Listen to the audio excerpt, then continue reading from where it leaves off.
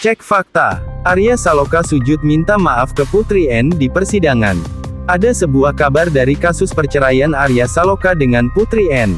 Disebutkan kalau bintang sinetron Ikatan Cinta itu sempat sujud ke Putri N karena keputusan sidang yang mengecewakan.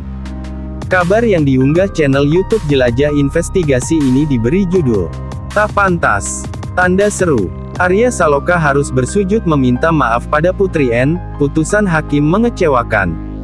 Dalam thumbnail video terlihat foto Arya Saloka yang tampak ingin sujud.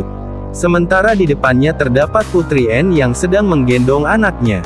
Sejak beberapa waktu lalu, rumor perceriaan Arya Saloka dan Putri N semakin kencang berembus. Tentu saja hal ini berkaitan dengan isu cinta lokasi Arya dengan mantan lawan mainnya di sinetron Ikatan Cinta, Amanda Manopo, tutur narator. Namun benarkah kabar tersebut?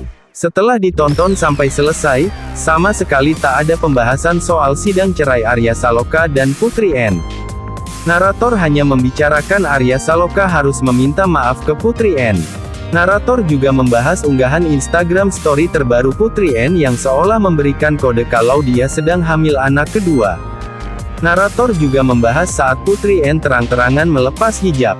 Sementara foto pada thumbnail sudah dipastikan adalah sebuah editan.